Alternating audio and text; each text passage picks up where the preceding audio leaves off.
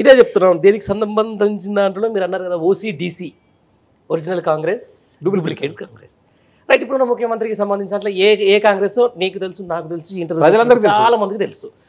ఈ నేపథ్యంలోనే తన గురువు గారికి సంబంధించిన దాంట్లో ఆయనకు ఒక అదృష్టం బాగుండి ఏమంటారు కదా ఒక గొప్ప లైఫ్ టైం అచీవ్మెంట్ లెక్క ఆయనకు ఒక అవకాశం వచ్చింది. ఇలా దేశ రాజకీయాల్లో ఒక కీలకమైన పాత్ర పోషించే లైఫ్ టైం వచ్చింది.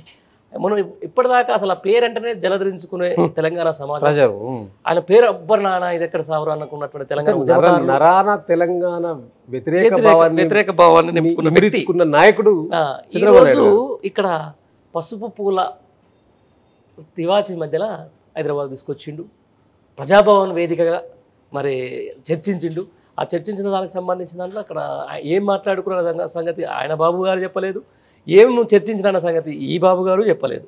మధ్యలో వాళ్ళు ఏదో మాట్లాడేసుకున్నారు. గమ్మత్ ఏంటంటే అయిపోయింది. పండర్ గారు మీరు చెప్పిన దానికి. అదే నా- మొత్తం నాకు లెట్ మీ నాకు. క్వశ్చన్ కంప్లీట్ చేసుకో. ఏంటంటే ఈ ఈ ఓసీడీసీ దాంట్లో ఈ ఎన్ని రోజులు మనం ఈ కాంగ్రెస్లో ఉండలేము నిజంగా అసలు కాంగ్రెస్ నేతలు ఎప్పుడు వచ్చినా కూడా నన్ను బయటకు పంపిస్తారు. మళ్ళీ గదే తెలుగుదేశం పార్టీని లేపుకుందాం లేపుకున్న ప్రయత్నం చేసుకొని అక్కడి నుంచి ఆ పార్టీకి పోయేదామని ఏమైనా ప్రయత్నం చేస్తున్నాను అనుకోవచ్చా? డెఫినెట్గా వాళ్ళ యొక్క పరిణామాలు చూస్తే అట్నే కనిపిస్తూ ఉన్నాయి.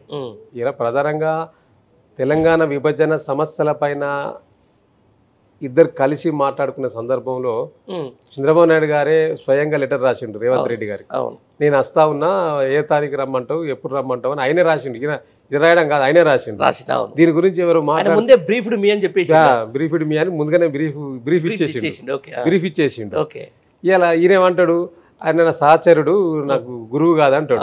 సహచరుడు అంటే ఆయన నువ్వు ఆయన మంత్రి పదవి చేసిరా గతంలో. నువ్వు ఆయన మంత్రివర్గంలో పనిచేసినావా? చేయలే కదా. నువ్వు ఆయన రాష్ట్ర ముఖ్యమంత్రిగా ఉన్నప్పుడు నువ్వు ఒక ఎమ్మెల్యేగా చేసినావు ఒక ఎమ్మెల్సీగా చేసినావు. నీకు సహచరుడు ఎట్లయితాడండి? ఇప్పుడు కావచ్చు నువ్వు ఒక ముఖ్యమంత్రికి ఉన్నప్పుడు ఇద్దరు రాష్ట్ర ఆ, సమాన ప్రాధాన్యత ఉంటుంది కావచ్చు. కానీ నువ్వు సహచరుడు ఎట్లయితే నువ్వు వందకు వంద శాతం శిష్యునివే. అదే డౌట్ లేదు. రెండవది ఆ. శిశరికాన్ని ఆ శిశరికాన్ని ఆయన తప్పకుండా కాపాడుకోగలిగే ఆ కార్యక్రమాన్ని ఇలా నిన్న ఆరో తారీఖు నుంచి షురువు చేసిండు. హైదరాబాద్ రాష్ట్రంలో షురువు చేసిండు. తప్పకుండా ఒక ప్రత్యేకమైన చర్చ బయట ఏం నడుస్తూ ఉన్నదంటే ఇలా విభజన సమస్యల మీద ఏర్పాటైన ఈ మీటింగ్లో రెండు అంశాలు ఆఫ్ ది రికార్డు బయట పెట్టలే కానీ వాళ్ళు ఏం చెప్పారంటే తెలంగాణ ఎందుకు ఇంత తొందరగా గ్రోత్ అయింది?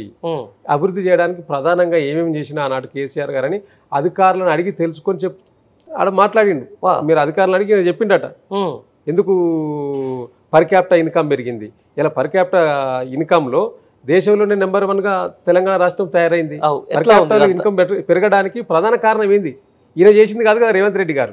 గత ప్రభుత్వం చేసిన ఆ నిర్వాహకం వల్లనే పర్ క్యాపిటల్ ఇన్కమ్ పెరిగింది కానీ ఈ నాలుగు నెలల కాలంలో ఈ ఏడు నెలల కాలంలో చేసింది ఏం చేసింది లేదు. సో.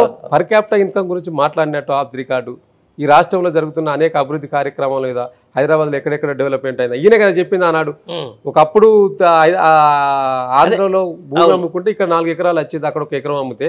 కానీ ఇలా హైదరాబాద్లో ఎకరా అమ్మితే ఇక్కడ వంద ఎకరాలు వచ్చేదని ఈయన చెప్పిన చంద్రబాబు నాయుడు గారు స్వయంగా చెప్పిండు. సో కాబట్టి కూడా బాగా కాబట్టి ఆయన కన్నంతా హైదరాబాద్ మీద పడ్డది. ఆయన కన్నంతా హైదరాబాద్ మీద. ఎందుకంటే ఆంధ్ర నాయకుల ఆస్తులన్నీ కూడా హైదరాబాద్ మీద ఉన్నాయి. హైదరాబాద్లో దాచుకున్నారు. కాబట్టి హైదరాబాద్ పట్టు సాధించాలంటే ఇప్పుడు రేవంత్ రెడ్డి గారిని మళ్ళీ ఒక ప్రత్యేకంగా తయారు చేసుకుని రేపు భవిష్యత్తులో ఎందుకంటే ఆయన ఇప్పుడు కేంద్రంలో కూడా కీ రోల్గా ఉన్నాడు కాబట్టి. ఇలా మేము బీఆర్ఎస్ పార్టీగా తెలంగాణ ప్రజల తరపున మేము అడిగిన ఏ ప్రశ్నను కూడా అక్కడ లేవనెత్తిన సందర్భం లేదు. ఆస్తుల పంపకాలు డెఫినెట్గా ఆ కమిటీ ఉంటుంది కొత్తగా కమిటీలు వేసేది వీళ్ళు లేదు. గతంలో కూడా బీఆర్ఎస్ ప్రభుత్వ హయాంలో కూడా కమిటీలు ఏర్పడ్డాయి. కొంత ముందడుగు పడ్డది కొంత ముందడుగు పడ్డప్పుడు అప్పుడు జగన్మోహన్ రెడ్డి గారు ఆ సెక్రటరేట్ మనకు అప్పచెప్పడం జరిగింది. ఆ సెక్రటరీలో నూతన సెక్రటరీ మనం కట్టుకున్నాం. వాళ్ళ సెక్రటరీ ప్లేస్ని ఇస్తా కూడా. సో ఇప్పుడు ఆ పాత కమిటీలు ఉన్నాయి. ఇప్పుడు వీళ్ళేదో సాధించినట్టు కొత్త కమిటీలు వేసారు అది కాదు మీరు చేయాల్సింది. ఇలా ప్రధానంగా తెలంగాణ ప్రజలు మాట్లాడుకుంటున్నది ఏంది? ఇలా కృష్ణా జలాలలో తెలంగాణ వాటా ఎంత. ఫిఫ్టీ పర్సెంట్ వాటా ఉన్నది తెలంగాణకు. ఆ ఫిఫ్టీ పర్సెంట్ వాటా ఏ విధంగా తీసుకొస్తారో దాని గురించి చర్చ పెట్టలేదు. అదేవిధంగా ప్రత్యేకంగా నాగార్జున సాగర్ డ్యామ్ దగ్గర మన ఎన్నికల ముందు చూసిన అప్పుడు ఎన్నికల కోడ్ ఉన్నది. ఆంధ్రప్రదేశ్ ప్రత్యేక పోలీసు విభాగాలను పంపించి ఆడికి ఎవరి పోకుండా చేసింది కదా? నువ్వు ఆ పోలీసు మొత్తం బెటాలియన్ వాపస్ తీసుకుంటావా లేదా. దాని గురించి మాట్లాడినావా? రేవంత్ రెడ్డి గారు. ఎందుకు మాట్లాడదలేవు నాగార్జున సాగర్ డ్యామ్ సంబంధించిన విషయంలో. అది ఆ విషయాలు ఏది మాట్లాడలేదు. నైన్త్ షెడ్యూల్ టెన్త్ షెడ్యూల్ విభజన హామీలు అది చట్ట ప్రకారం చేసుకోవాల్సినవి చేసుకుంటారు డెఫినెట్గా. అది కావాల్సిన ఆఫీసర్ లెవెల్ అవుతుంది. కానీ మీరు అసలు విషయాలను పక్కకు పెట్టి మీ రాజకీయ ప్రలోభాలు దీంట్లో దాగి ఉన్నాయి. ఇడన్ ఎజెండా ఒకటే దాగి ఉన్నది దీంట్లో. డెఫినెట్గా ఆ ఇడన్ ఏజెండా అంటే మీరు చెప్పినట్టు భవిష్యత్తులో రేవంత్ రెడ్డి గారికి థ్రెట్ రాకుంటే థ్రెట్ ఒకవేళ వస్తే ఇప్పుడు చేర్చుకోబోయే ఎమ్మెల్యేలు కొంతమంది. రేపు భవిష్యత్తులో ఆ, ఈయన తరపున మళ్ళీ రేపు తెలంగాణ. రాష్ట్రంలో బలంగా తయారు చేయడానికి మళ్ళా ఒకటి జనసేన బీజేపీ టీడీపీ కలిసి పోటీ చేస్తేనే ఒక చర్చ జరుగుతూ ఉన్నది. ఈ పోటీ చేస్తే ఇవన్నీ కూడా ఫోర్స్ అంతా కూడా రేవంత్ రెడ్డి గారికి ఈ దరిద్రాల మీదే కదా తెలంగాణ చేయడానికి. కోసం పోరాటం చేసింది. వీళ్ళ కోసమే కదా తెలంగాణ ఉద్యమకారులకి మీరైనా ఉద్యమం చేసినా నేనైనా జర్నలిస్ట్ చేసినా కూడా వీళ్ళ మీదే కదా ఉద్యమం చేసింది మనము. మళ్ళీ ఈ రోజు వాళ్ళ పెత్తనం అనుకుంటే సరే ఈ పదేళ్ళ తర్వాత ఈ గ్యాప్ ఓట్లు వచ్చిన వాళ్ళకి తెలియకపోవచ్చు కానీ నిజంగా ఉద్యమకారులు దీన్ని స్వాగతిస్తారా? ఇవాళ తెలంగాణ ప్రజలలో ముఖ్యంగా నాటి తెలంగాణ ఉద్యమంలో భాగస్వామ్యమైన వాళ్ళు తెలంగాణ ఉద్యమంపై అవగాహన ఉన్న వ్యక్తులు బుద్ధిజీవులు ఎవరైతే ఉన్నారో వారందరూ కూడా లోపల అదే చర్చించుకుంటారు. ఇదేంది పెనం మీద పోయి పొయ్యిల పడ్డది మన పరిస్థితి? పెనము నుండి ఇప్పుడు పొయ్యిల పడ్డది మన పరిస్థితి చంద్రబాబు నాయుడు గారు ఇదేంది ఈ విధంగా తయారైతే ఉన్నారు. ఇప్పుడు చాలామంది టీడీపీ ఆఫీస్కి వచ్చిన సందర్భంలో కొన్ని మీడియాలో చూసినాము. అరే మీరు మరి ఎట్లా మీకు ఎట్లా ఇక్కడ టీడీపీ ఎట్లా బలోపేతం అయిందంటే ఏ మాకు రేవంత్ రెడ్డి ఉన్నాడు రేవంత్ ఉన్నాడు రేవంత్ అన్న ఉన్న ఉండగా మాకు ఏం కాదు ఇక్కడ బలంగా తయారవుతామని చెప్పారు. ఇంకొకటి చూడండి చంద్రబాబు నాయుడు గారు నిన్న ఆ టీడీపీ పార్టీలో మాట్లాడినప్పుడు రేవంత్ రెడ్డి గారి పేరు దిగాగానే ఓ విపరీతమైన క్రేజ్ వచ్చింది. ఆయన ఆయనకి ఎందుకు అవుతుందండి క్రేజ్? ఆయన రేవంత్ రెడ్డి కాంగ్రెస్ నాయకుడు అండి. రాష్ట్ర ముఖ్యమంత్రి కాంగ్రెస్ నువ్వు టీడీపీ పార్టీ అవును. నువ్వు టీడీపీ పార్టీలో మీటింగ్. రేవంత్ రెడ్డి గారికి పేరు తీస్తే క్రేజ్ వచ్చిందంటే ఆ. మీ ఏది ఉన్నది ఎజెండా ఏం నడుస్తా ఉన్నది? వాళ్ళ కార్యకర్తలు స్వయంగా చెప్తున్నారు టీడీపీ కార్యకర్తలు. ఉమ్, మాకు చంద్రబాబు నాయుడు గారు డైరెక్షన్ ఇచ్చిండు మాకు అన్ని విధాలుగా ఇక్కడ రేవంత్ రెడ్డి గారు సపోర్ట్ చేస్తాడు అన్ని విధాలుగా అంటే అన్ని విధాలుగా అన్నారు. రైట్ అదే చెప్తున్నా ఈ వీళ్ళిద్దరు ద్వయమే ఈ ద్వయమే. అంటే తెలంగాణ కొత్తగా వచ్చినప్పుడు రాష్ట్రాన్ని విప్లవ రాష్ట్రంగా చూపించడానికి లేకపోతే సాధించుకున్న తెలంగాణని మళ్ళీ వేరే పరం చేయడానికి ఓటుకు నోటు అనే కేసుకు సంబంధించిన దాని మీద వీళ్ళిద్దరు చేసినటువంటి కథ. అదందరూ సభ్య సమాజం మర్చిపోదు తెలంగాణ సమాజం కూడా దాన్ని మర్చిపోదు. ఈరోజు వాళ్ళకు ఒక గొప్ప అవకాశం వచ్చేసింది.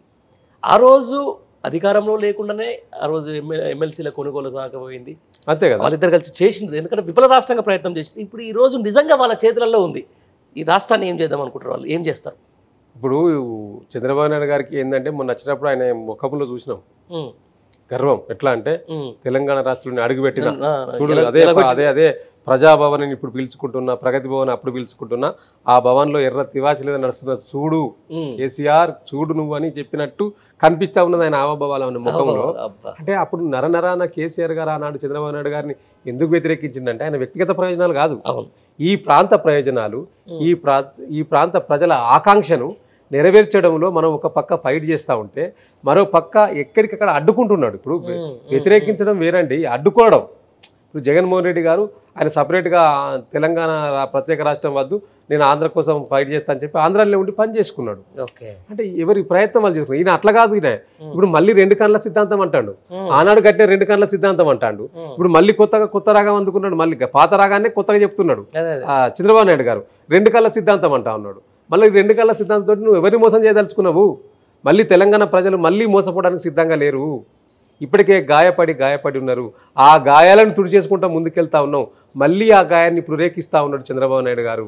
డెఫినెట్లీగా చంద్రబాబు నాయుడు గారి యొక్క అడుగుతోటి మళ్ళీ రేవంత్ రెడ్డి గారు పతనం ప్రారంభమవుతుందని మాత్రం బయట బుద్ధిజీవులలో తెలంగాణ వాదం పట్ల అవగాహన ఉన్న వాళ్ళు మాత్రం బయట చర్చించుకుంటున్న సందర్భంగా కనిపిస్తూ ఉన్నారు అనిపిస్తుంది ఇప్పుడు సరే ఇదే కేసీఆర్ మహారాష్ట్ర పోతే రాని లొల్లి ఈరోజు చంద్రబాబు హైదరాబాద్కి వస్తే ఎందుకు స్టార్ట్ అవుతుందని చెప్పేసి కొంతమంది అడుగుతా ఉన్నారు. దీని మీద మీ సమాధానం?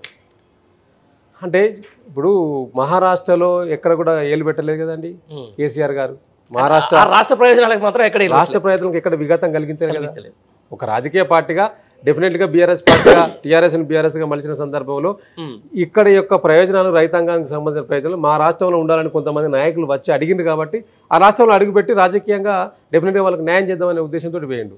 కానీ చంద్రబాబు నాయుడు లెక్క ఇక్కడికి ఇక్కడనే వండుకుంటూ ఈ ప్రాంతంలో అడుగుపెట్టి ఈ ప్రాంతంలో రాజకీయం చేసి ఈ ప్రాంత ప్రయోజనాలు రాకుండా అడ్డుకోవడమే కాకుండా నిట్ట నిలువున తెలంగాణ రాష్ట్రం ఏర్పడ్డ తర్వాత రెండు వేల పద్నాలుగులో. ఈయన ముఖ్యమంత్రి నాకు ఏడు మండలాలు ఇస్తేనే ప్రమాణ స్వీకారం చేస్తా అని చెప్పి నరేంద్ర మోడీ దగ్గర బ్లాక్మెయిల్ చేసుకొని ఏడు ఖమ్మం జిల్లాలో ఉన్న ఏడు మండలాలతో పాటు సీలేరు విద్యుత్ ప్రాజెక్టు నాలుగు వందల మెగావాట్ల విద్యుత్ ప్రాజెక్టును కూడా తీసుకెళ్ళి ఆంధ్రలో కలపడం ఎంత దుర్మార్గం అండి తెలంగాణ ఏర్పడ్డ తర్వాత అవును అవును అవును. ఇచ్చిన చట్టానికి వ్యతిరేకంగా మళ్ళీ కొత్తగా అమెండ్మెంట్ పెట్టి కొత్తగా చిన్న మన నరేంద్ర మోడీ గారు ఆ యొక్క చర్యలు పార్లమెంట్లో తీసుకొని కలిపిన తర్వాత ప్రమాణ స్వీకారం చేసిండు. అంటే నీకు తెలంగాణ మీద ఇంకా అప్పటికి ఆ పద్నాలుగులో ఏర్పడ్డ తర్వాత కూడా తెలంగాణ మీద కసి పోలేదు. నీ కసి అంతా కూడా హైదరాబాద్ మీదనే ఉన్నది. మళ్ళీ పాత రోజులకు నెట్టివేయడానికి ప్రయత్నం జరుగుతూ ఉన్నట్టు కనిపిస్తూ ఉన్నది. తప్పకుండా తెలంగాణలోని ప్రజానీకంతో పాటు తెలంగాణ బుద్ధిజీవులు తెలంగాణ ప్రాంతం పట్ల అవగాహన ఉన్న వ్యక్తులు తప్పకుండా ఆలోచించవలసిన అవసరం ఉన్నది. ఏం జరుగుతుంది రాజకీయాలలో? రేవంత్ రెడ్డి గారు ఎటువైపు ఈ యొక్క పాలన కొనసాగిస్తూ ఉన్నాడు. ఇది ప్రజాపాలన లేకపోతే తెలంగాణ ప్రాంత అస్తిత్వాన్ని ఢిల్లీకి తాకట్టు పెట్టడమా అనే దిశగా పయనిస్తుందా అనేది కనిపిస్తూ ఉన్నది. కాబట్టి డెఫినెట్గా మనం అర్థం చేసుకోవాల్సిన అవసరం ఉన్నది. రేవంత్ రెడ్డి గారు చేస్తున్న చేష్టలు అనే తీసుకుంటున్న నిర్ణయాలు ఏ విధంగా ఉంటున్నాయి? తెలంగాణ ప్రాంతం పట్ల తెలంగాణ ప్రాంత అస్తిత్వాల పట్ల తెలంగాణ ప్రాంతంలో మన తెలంగాణ సింబల్ కావచ్చు లేకపోతే ఇంకా అనేక అంశాల పట్ల వారు తీసుకున్న నిర్ణయాలు ఏ విధంగా ఉంటున్నాయో ఒకసారి ఆలోచించాల్సిన అవసరం అయితే ప్రజల ప- ప్రజలకైతే ఉంది.